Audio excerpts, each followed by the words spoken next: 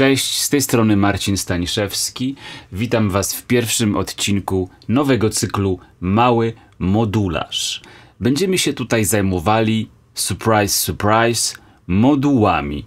Konkretnie modułami w formacie Eurorack. Na pierwszy ogień nie mogłem sobie odmówić przyjemności omówienia modułu naszej polskiej, ojczystej, warszawskiej firmy House Devices. Moduł nazywa się Batumi, jest to poczwórne LFO i osobiście uważam, że jest to jeden z najlepszych modułów w swojej kategorii. Już mówię dlaczego.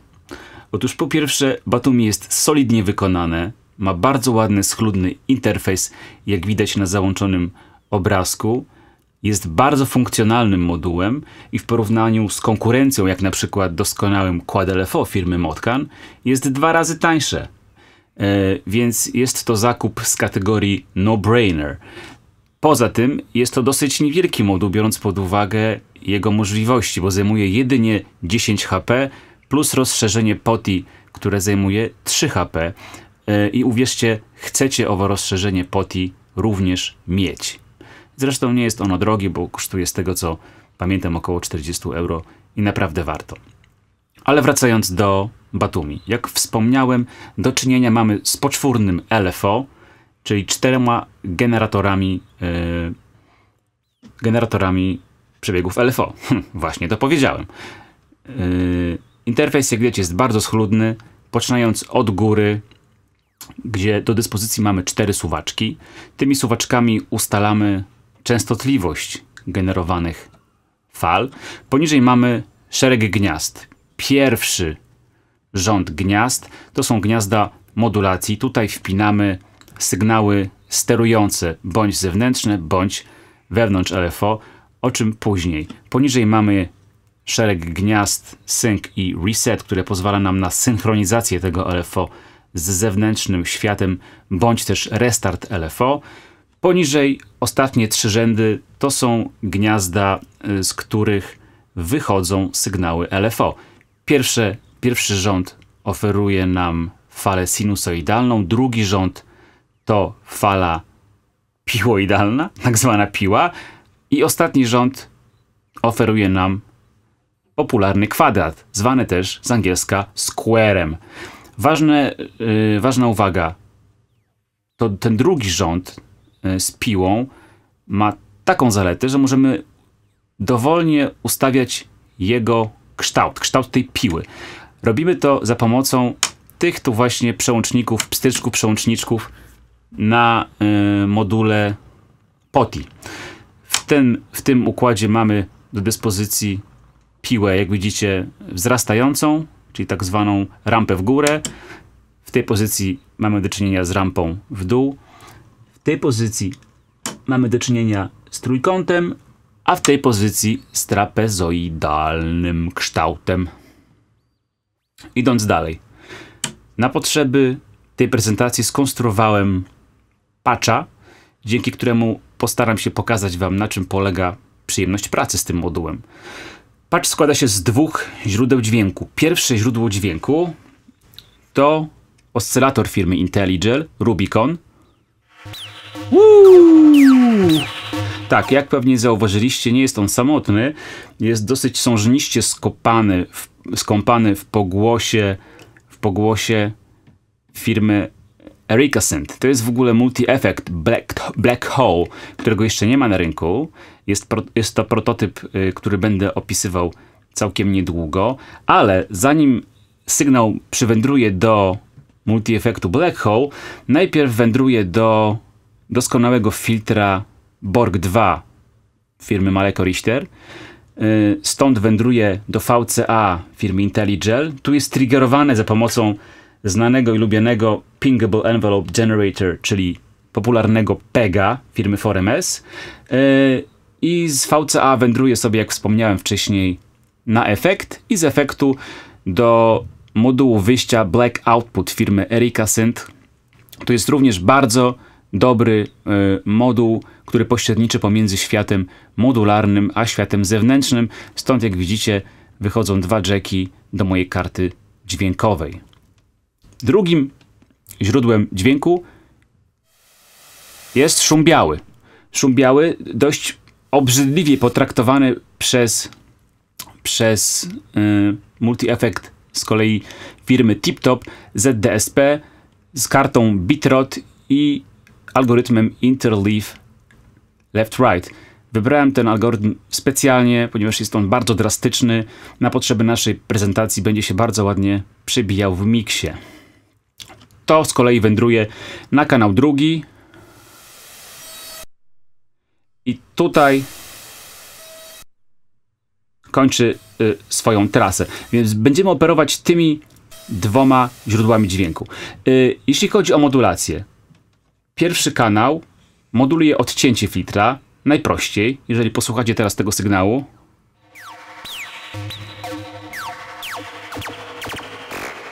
Jak, jak pewnie zauważyliście, pierwszy LFO, dioda,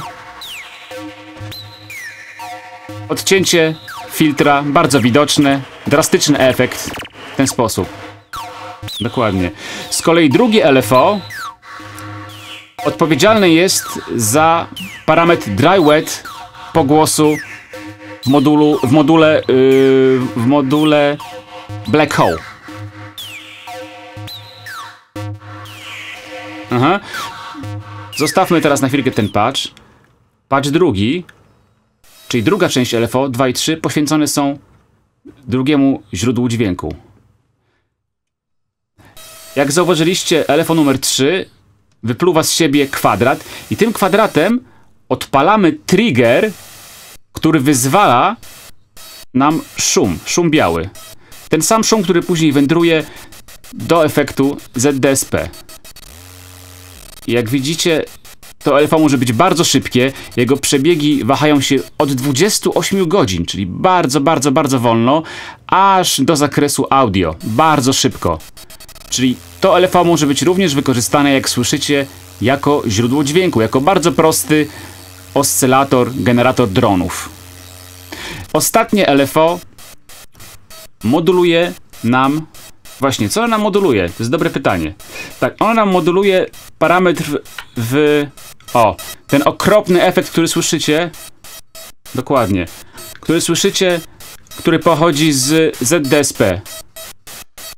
Bardzo taki drastyczny, nieprzyjemny efekt. To jest dokładnie to.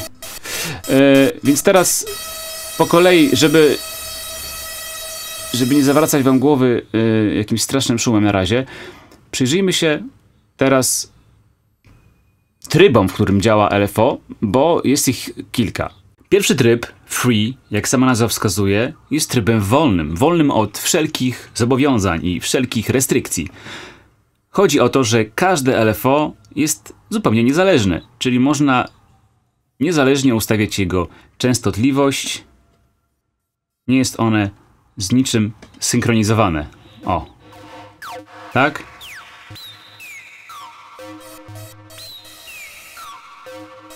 Drugi tryb z kolei to tryb Quadrature. Polega on na tym, że pierwszy LFO jest tak zwanym masterem, czyli mistrzem.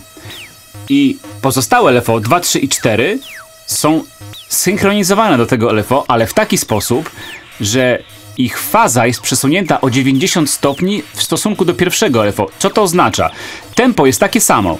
To znaczy wszystkie LFO podążają za LFO numer 1. Jak spojrzycie na diody, dopasowują się do LFO numer 1 ale zaczynają się niejako później. To znaczy, jeżeli załóżmy LFO startuje od zera w górę, to LFO 2 startuje w tym samym momencie, ale 90 stopni, stopni później. W związku z tym możemy osiągnąć tak zwane efekty przemiatania. Bardzo ciekawy, bardzo ciekawy y, tryb, który sprawdza się szczególnie kiedy modulujemy różne parametry jednego urządzenia, na przykład różne parametry jednego filtra albo jednego y, oscylatora, można wtedy uzyskać naprawdę ciekawe, przemiatające efekty. Kolejny tryb jest bardzo podobny do trybu yy, do trybu Quadrature. Aha, a propos, tryby przełączamy, jak pewnie zauważyliście, tym guziczkiem zlokalizowanym w środku, na środku panelu. Tryb Face to jest tryb numer 3, bardzo podobny do trybu Quadrature. Różnica polega na tym, że kolejne fazy ustalamy manualnie. One nie są ustawione arbitralnie yy, co 90 stopni. Czyli dalej mamy LFO 2, 3 i 4 synchronizowane całkowicie do LFO numer 1, ale fazy mogą zaczynać się w dowolnym momencie i to jest też ciekawy, ciekawy tryb.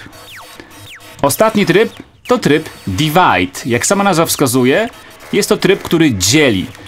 Dzieli prędkość pierwszego LFO na mniejsze podziałki, na mniejsze wartości, czyli jest to, można powiedzieć, takiego swojego rodzaju clock divider, czyli mamy LFO główne i później każde LFO dzielimy na dwa, co trzy, powiedzmy co cztery, co pięć i tak dalej. Y, szczególnie przydatny tryb, jeżeli mowa o jakichś paczach perkusyjnych, rytmicznych, o czym zaraz. Zresztą, zresztą słyszycie już w tej chwili, co się dzieje. Małe piekło.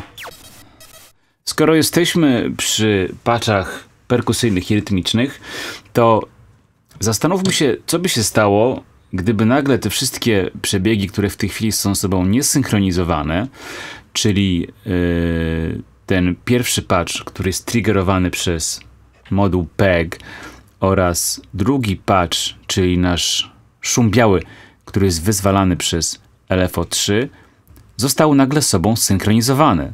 Do tego celu wykorzystujemy drugi rząd gniazd, czyli gniazda sync i restart, o których mówiłem na początku.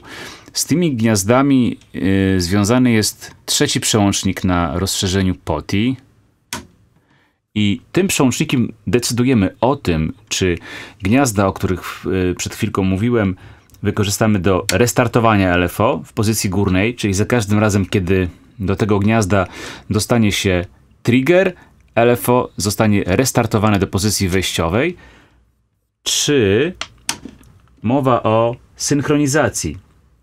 W tym wypadku za każdym razem, kiedy do gniazda synchronizacji dostanie się trigger. Po paru triggerach LFO zostanie zsynchronizowane do zadanego tempa. Co uczynimy w tym momencie? Odpalamy nasz, nasze pierwsze źródło dźwięku. Drugie źródło dźwięku. I aplikujemy zegar Czyli aplikujemy w tej chwili PEGA. I teraz zauważcie, że w momencie, kiedy zwiększam szybkość PEGA, zwiększa się szybkość naszych wszystkich LFO. A? Bardzo przydatne. W tej chwili jesteśmy w trybie Phase. Więc zauważcie, co się dzieje w momencie, kiedy zmieniam fazy. Przejdźmy teraz do trybu Divide, o którym mówiłem wcześniej. W tym trybie LFO 2, 3 i 4 są dzielone do podziałki LFO numer 1.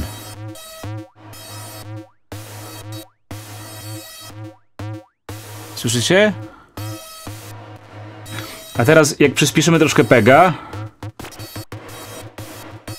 uzyskujemy natychmiast różne paterny rytmiczne. Są to paterny złożone z białego szumu, z efektu pogłosu, oraz z naszego znienawidzonego efektu interleaf left-right. O, przepiękne, rytmiczne piekiełko. I to dopiero początek zabawy, ponieważ w tej chwili przyjrzymy się gniazdu numer jeden. Tu zaczyna się prawdziwa zabawa. Otóż wyobraźmy sobie teraz, że te ciekawe, lecz wciąż jednak dość banalne przebiegi możemy troszkę skomplikować. Do tego służy właśnie gniazdo modulacji. Oczywiście możemy naszą częstotliwość LFO modulować za pomocą zewnętrznego sygnału, ale wykorzystamy do tego nasze LFO i wewnętrzne sygnały LFO. Załóżmy, że w tej chwili chcielibyśmy modulować LFO numer 1 sygnałem z LFO numer 4 tak dla zabawy. Ładujemy więc kabelek pierwszy do wyjścia sinusoidy z LFO numer 4 i aplikujemy tenże przebieg do modulacji LFO numer 1. Słyszycie co się dzieje? O, przepraszam.